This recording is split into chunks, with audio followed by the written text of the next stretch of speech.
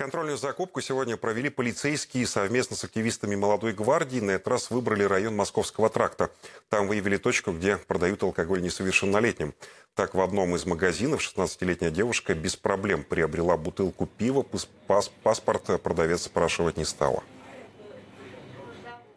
Ну, я не подумала даже. Я первый день работала сегодня. С вами проводили инструктаж на работе, что продажа запрещена? Я была знакомлена. Продавцу грозит штраф от 30 до 50 тысяч рублей. С начала года было проверено порядка 50 магазинов на тематику продажи насвая, табака и алкогольной продукции. В ходе проверки было выявлено из 50 20 фактов продаж э, нелегальной вот этой продукции. Добавлю, что также полицейские проводят проверки без участия активистов. С начала года привлекли к ответственности 9 человек, которые продали алкоголь несовершеннолетним.